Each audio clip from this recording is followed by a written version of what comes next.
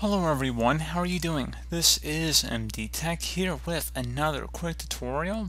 In today's tutorial I'm going to show you guys how to go about changing your mouse settings on your Windows 10 computer. So this should be a pretty straightforward tutorial guys and without further ado let's go ahead and jump right into it. So all you have to do is open up the start menu, type in control panel. Best result should come back with control panel listed right above app. So go ahead and left click on that Select your view by and select large icons. Select mouse from this list. Now, this is basically all the mouse buttons and functions you're going to be able to play with here. So, first option up here at the top for the button configuration. If you want to switch your primary button, so if you want to make your left click or right click, you would switch it by selecting that option right there. Uh, double click speed, you can adjust that. So if you notice that it's very slow to respond to double clicks, you can adjust that speed right there.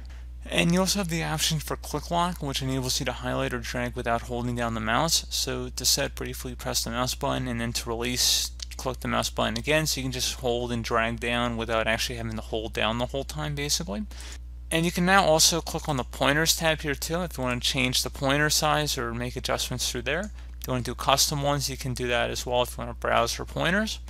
If you have some third-party pack you want to get from online, Pointer options, you can adjust the pointer speed, how quickly it moves or displays on your screen here, top option here.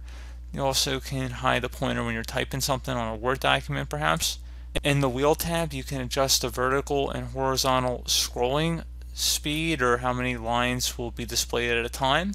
And then you also can adjust the hardware tab here too if you want to adjust the hardware of different mouses that have already been hooked up and recognized on your computer. If you need to remove anything or check out the properties, you can.